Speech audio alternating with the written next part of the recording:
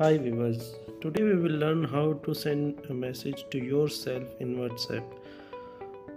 Uh, we will create a group. I created a group by the name of uh, WhatsApp hack and add uh, somebody close to you. Now the group is uh, added. Now you can uh, remove that person from the group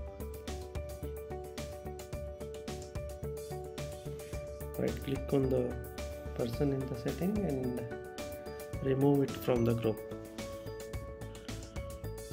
Now you can send any messages to yourself like links any memes or like that